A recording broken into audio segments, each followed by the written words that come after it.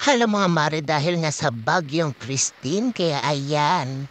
Yan ang panahon namin dito. Marami na ang tubig dito sa harap namin.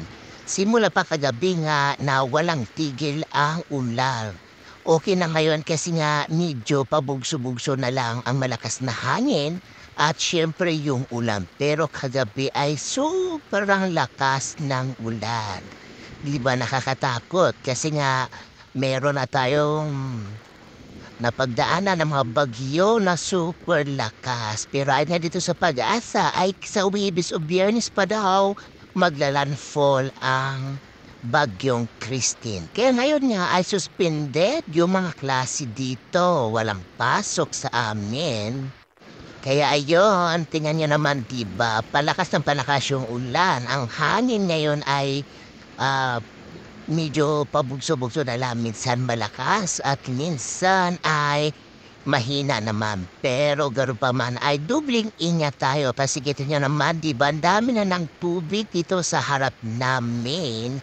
Hindi lang sa amin, sa mga ibang lugar ay bumabaha na dahil sa walang tigil yung pag-ulan. Pero gano'n pa man, kahit nga na bumabagyo ay kailangan nating magtrabaho, magbukas tayo ng ating konting negosyo nang sa gano'n naman ay meron tayong income.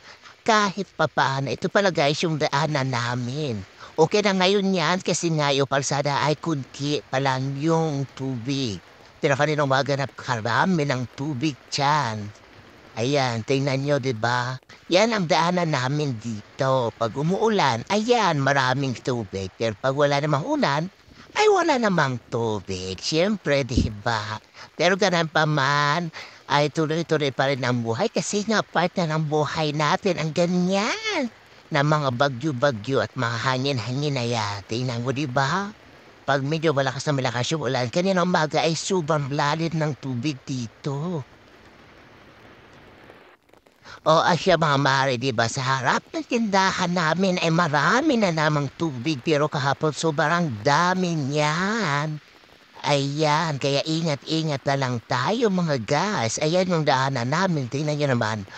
Marami ng tubig sa daanan kaya hindi maiwasan na ikaw ay mabasa pero okay lang.